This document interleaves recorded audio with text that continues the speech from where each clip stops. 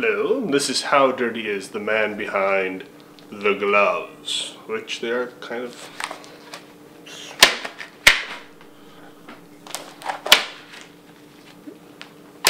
Much better. Have you ever been curious about the unseen world that lives among us? How small, you say? Well, they're small. Smaller than that. Smaller than that. Okay, very funny, but it is smaller than that. Whoa, whoa, whoa, whoa, whoa! Too small. Just back it up a little bit, alright? Okay, that's perfect. Wonderful. This is a bacteria. This is a bacteria, baby. Let's go. uh, well, uh, anyways, uh, slight correction. That's a bacterium. When there's one, it's a bacterium. Any number bigger than one, it's bacteria. Got all that? Okay, very good.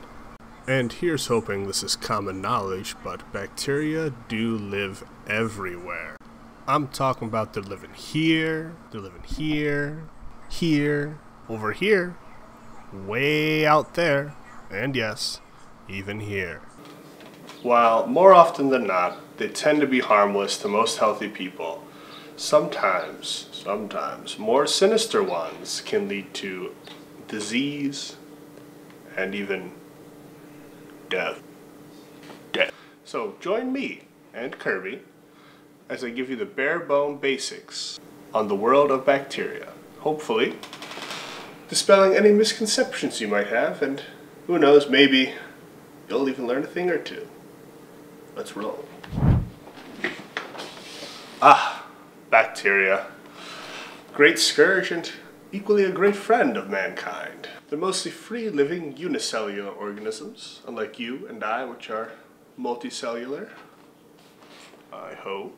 They're essential in breaking down and recycling nutrients, and that's what leads to that god-awful smell. Oh heavens me. There's symbiotic and parasitic relationships with plants and animals too. Don't forget us. Yes, you're an animal too. Rar. People, like you and me, or the skinwalker outside. People are covered by and filled with bacteria. 10 to the 14th cells at any given time, roughly. Most of these tend to be in the skin, and even more than that are in the gut. And most of this bacteria tends to be pretty benign, harmless. The ones in your gut, usually pretty beneficial. The ones in your skin can also be beneficial as well. And uh, who would have thought our immune system is pretty good at its job? Most bacteria you don't that gets in your system, you don't you won't even notice. It just see ya. But of course, there are more sinister bacteria out there. The likes of cholera, leprosy, tuberculosis, black death, syphilis, and a whole mess of other fun party favors that you can share with your friends. Alright, alright, enough stalling. Let's get around to actually meeting the little fellows. Bacteria tend to be categorized by two main ways here. We have the shape and the cell wall type. So we're talking about shape. First we have cocci. Don't laugh. It's not funny. Those are spherical shaped. Then we have bacilli, which are rod shaped. Spirilla, and that kind of lumps in a bunch of other less common shapes that are spirals or just a big mess. So I wouldn't worry too much about those. They can exist as a single cell, in pairs, chains, or clusters. Well, how about the structure of these bad boys? They're cells. We're made of cells. I'm in a cell. Please, send help. Well, for bacteria, they're a little simpler than plant and animal cells. Let's take a look. So here's a look at the handsome devil. Look how nicely dressed up he got for you. As you can see, there is no nucleus like there is in animal and plant cells. The DNA floats around a bit more of a loose, little, uh, little more casual section called the nucleoid. That's a very, very protozoa of it. Uh, also here you can see we have ribosomes that float around and those make proteins that the bacteria needs to survive. All this is floating around in something called cytoplasm, which is like a jelly like fluid that supports the ribosomes and genetic material. It's pretty much the party punch at your freshman dorm. Good times. Holding all this together is the cytoplasmic membrane, which is a phospholipid bilayer that regulates nutrients and waste in and out of the cell. Everyone's got one of these. Now, these spiky purple things over here, that's not his do, as the kids say. No, no. That's pili, which are little hair like strands that help the bacteria attach to stuff. Sticky fingers! Finally, we have the flagellum, which is the long whip-like nonsense sticking out of it. This helps the bacteria move, and they can have more than one if they're feeling a little frisky. On to classification. As we discussed previous, they are the shapes. Cocci, bacilli, spirili, and others that aren't as important. But the other way we test them is by the cell wall thickness. Yes.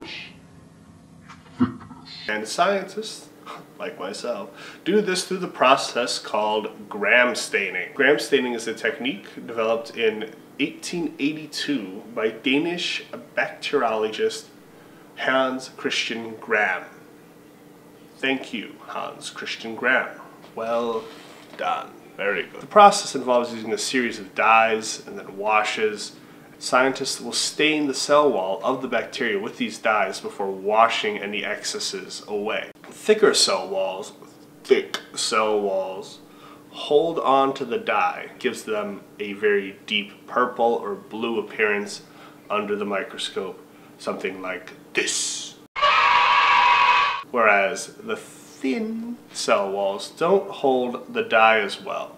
And so throughout the washes, it kind of fades into a bit more of a light pink, light red under the microscope, and it looks something like this.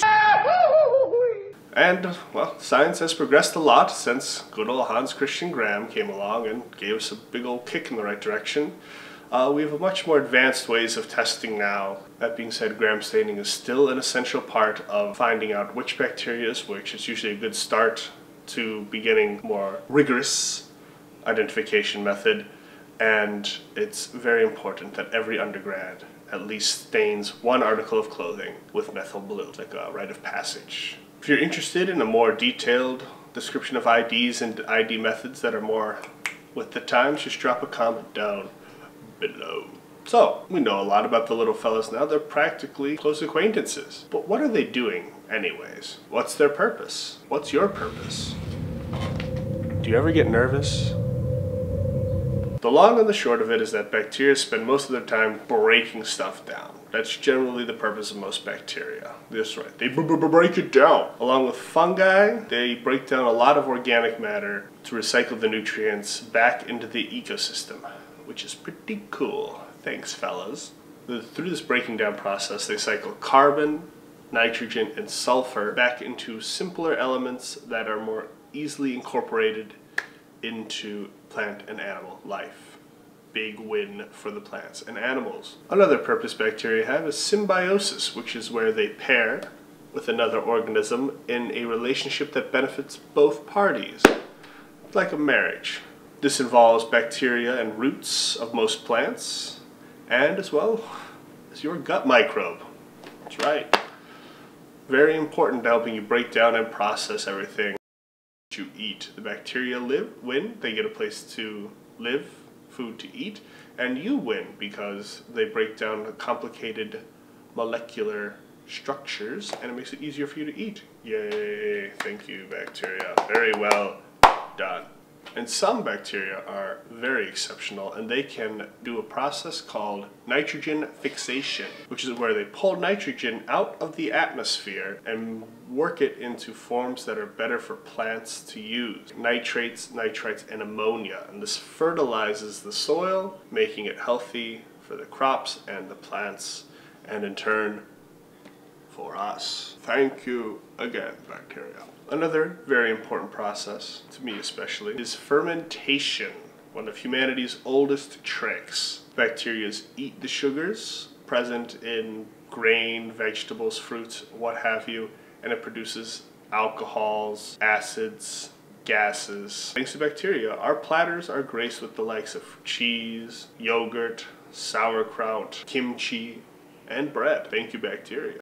Editing How Dirty is here, and I actually am shocked. I cannot believe I didn't say beer. Please go back in time and punch me in the head as hard as you can. Thank you.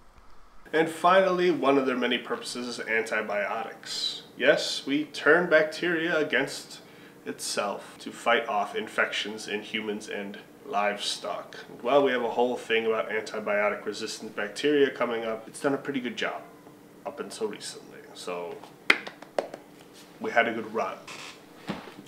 That's about our quick rundown on bacteria, our small companion on this fleeting journey through time and space on a very small rock in a very small system in a very big universe. All in all, we could have gotten much worse, but for all the sickness they can cause, they provide just as much reasons to keep them around. I mean, I don't know about you, I'm not living without beer and cheese my German ancestors would kill me. And speaking of companions that could be worse, tune in uh, eventually when we'll talk about the much eviler and stranger companion to bacteria, the virus. Yes, the virus. Busy few weeks ahead for me, but I'm going to try to knuckle down and get it out sooner than later. But uh, thanks for tuning in, and uh, TTFN. Ta-ta for now. 嗯嗯嗯